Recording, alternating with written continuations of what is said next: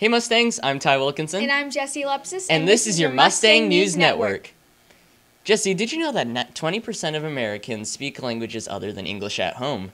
At least 15% of Americans are bilingual. In fact, a lot of Staley students are bilingual. Actually, Ty, I did know that because I got to interview one of our ESL teachers here at Staley, Mrs. Sunday. Um, this is Jesse Lepsis here with Miss Sunday, our ESL teacher at Staley, and I've decided to ask her a few questions about our ESL program. What languages are spoken at Staley? Um, a few languages, for example, are Spanish, Romanian, Farsi, Mandarin Chinese, Japanese, and Arabic, just to name a few. How do these languages affect Staley's culture? Um, technology makes the world smaller and helps change the way we learn languages and do business. It's important um, to be successful to know more than one language, regardless of what your job is, and it helps you actually. What is a normal day in an ESL classroom like? Um, in our ESL Reading Lab class, we have different stations. You're focused on reading books. You're also focused discussions with other peers. Um, we also watch video clips with the subtitles on at the bottom to help language acquisition as well. Why did you choose to teach ESL at Staley? Um, Staley is a excuse me a middle school that's very similar to my other home campus, and with such a large diverse population, it really helps showcase our international population, similar to in the DFW and Frisco Metroplex, where business is very strong and there are many jobs available. That we're going to review. Why is it important to be aware of these different languages? It gives you a chance to interact with other families, other people, other students, and you may even end up learning another language which will take you to another country to learn and study or even have a business.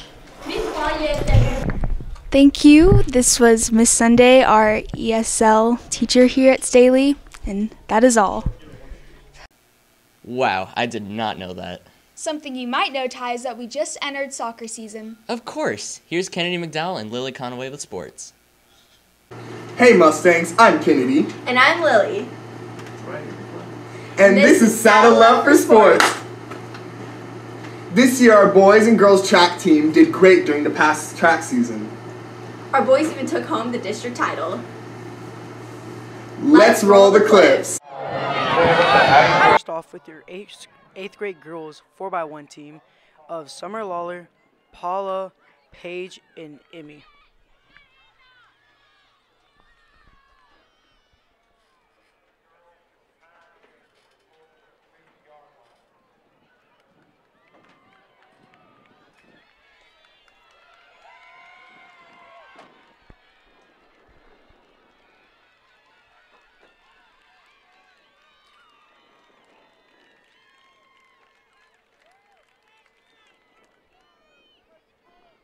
Next, you have your 7th grade boys 4x1 team of Emmanuel, Brandon, Gino, and Spencer.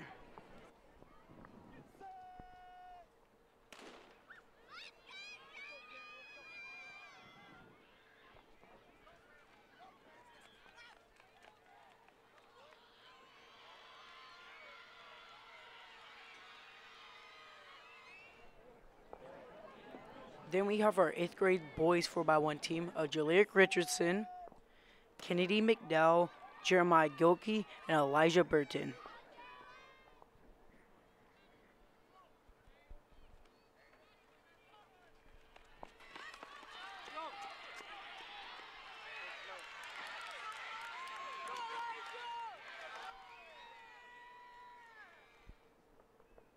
Then you have 8th grade girls shot with Natalie Geyser. Then you have your seventh grade boys long jump with Spencer Cox. And your eighth grade boys long jump with Kennedy McDowell. And then you got your girls 2400 with Georgia.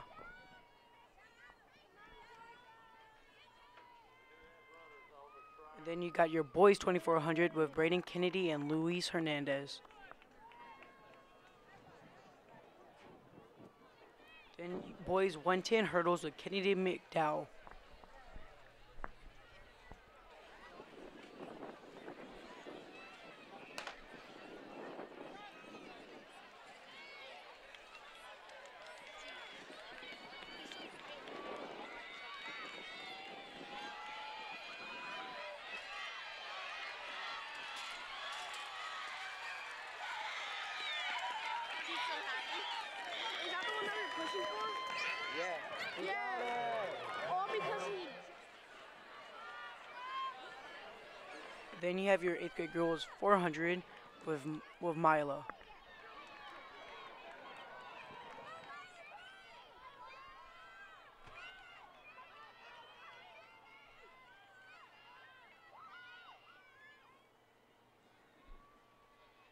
And then your boys eighth grade 300 hurdles with Kennedy McDowell and Jeremiah Gilkey.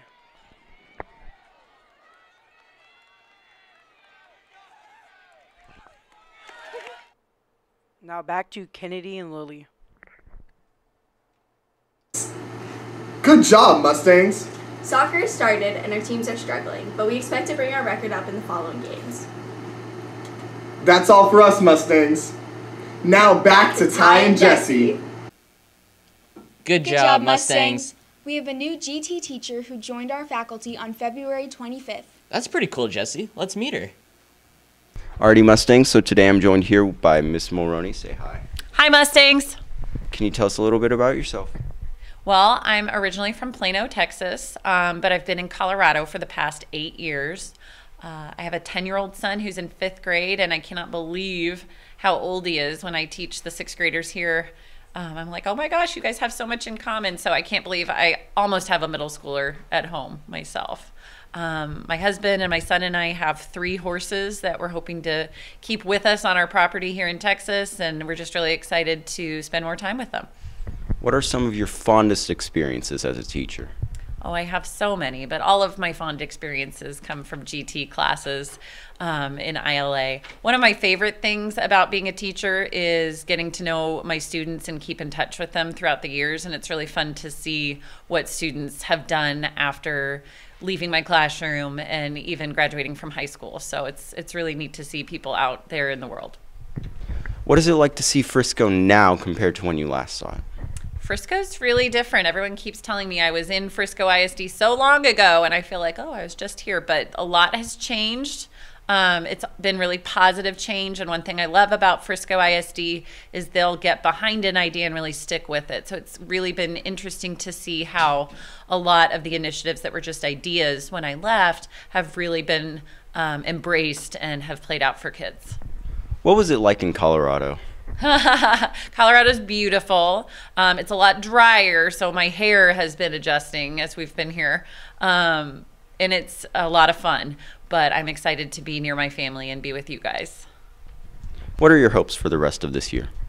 I'm really excited to get to know you guys and to teach the ILA curriculum and see what you can do. Alrighty, thank you, Miss Mulroney. Here's the number one PSA created in video production classes this year by one of our Staley students.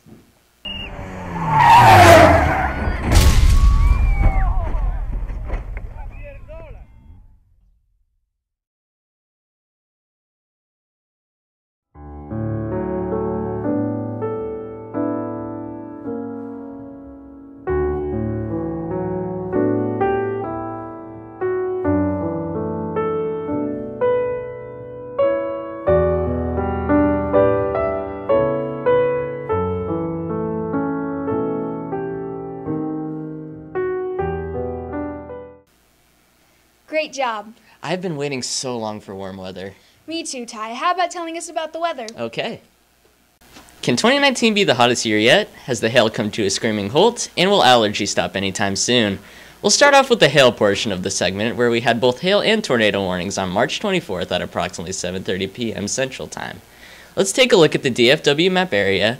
We see that the storm retreated southeast, plummeting through the cities of Denton, Aubrey, Pilot Point, Prosper, Frisco, Plano, McKinney, Allen, and Wylie. We have a couple of photos of hail courtesy of our 8th grade science teacher, Miss Ryan. As you can see, they got about ping pong to maybe golf ball sized hail in Aubrey, Texas, which is northwest of us, but nothing too major. And meanwhile in Frisco, let's just roll that clip. This video is taken toward the Heritage High School neighborhood area. We see a couple of hailstones falling into the pool, and now let's skip exactly one minute.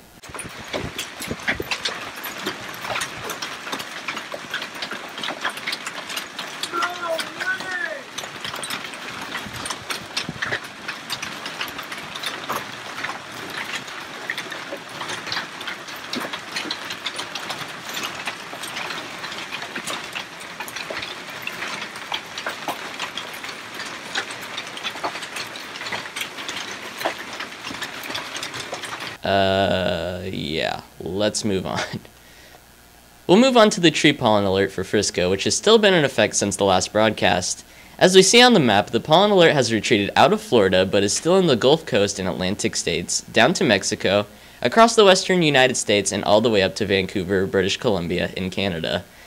The pollen alert has, will move up a little bit north in the United States into Kansas, Missouri, Illinois, Indiana, Kentucky, and West Virginia.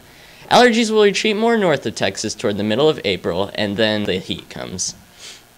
Which leads me to my last segment. Scientists are predicting this year's summer being one of the hottest years we might ever have. But it all comes down to an unusual phenomenon in the ocean and atmosphere in the Pacific Ocean. Scientists predict that the heat may rise up to the triple digits for most of our summer. But in reality, it's too early to tell. That's all for me. Back to Jesse. Do you know what starts tomorrow? Yes, the STAAR test. Here's a little short infomercial for the STAAR. STAAR is coming tomorrow. Sixth graders, your teachers will explain what your schedule will look like for Tuesday. On Tuesday, the seventh graders will be taking the writing test. Eighth graders will be taking the math test. And on Wednesday, the eighth graders will be taking the reading test. Non testers on those days, please be as quiet as possible in the hallways and in classrooms on those testing days. Don't forget to get a good night's sleep before testing. Eat a well balanced breakfast eggs, fruit, peanut butter, milk, juice, and toast. Dress in layers. Your room could be hot or cold or just right. What to bring? Your favorite books to read. The only thing to do after testing is read or sleep. Please, no snoring. Do not disrupt testers, not only in your room, but the rooms around you. You can bring a snack. Snacks should be non messy and unwrapped in a Ziploc bag. Types of snacks goldfish, peppermints, pretzels, dried fruit. Bring a water bottle, only with water. Bring a different color highlighter. We will supply yellow if it's one of your strategies that was taught by your teachers. If you have a favorite wooden pencil, no mechanical, but we will have some for you to use. No worries. Things you shouldn't do on the day of testing, like don't pet the cat. Don't bring cell phones into a testing room. Cell phones, unless for medical reasons. Smartwatches or earbuds. Earphones should be turned off and placed in your locker for safekeeping. Don't write on Scantron unless directed to do so. Don't get highlighter marks on Scantron. Just be careful with answered documents. Watch for stray marks. Also, it's very important. Please read the instructions carefully and listen to your teachers. They're required to read everything, word for word, from their manuals to you. And we want you to know how to ask for something Kleenexes, dictionaries, thesauri, highlighters, erasers, and scrap paper. How to go to restrooms, water break, and which restrooms to go as you may be in a different location. Don't forget to sign out. How to throw away trash. Teacher can bring your a trash can. You may not get out of your seat unless you have permission to go to restrooms, water break, or the nurse. If you have to visit the nurse, you will be escorted. Anybody has any questions, please direct them to your teacher. Good luck. Have a great day. Well, that's all we have today. This, is, your Mustang, News Network signing off.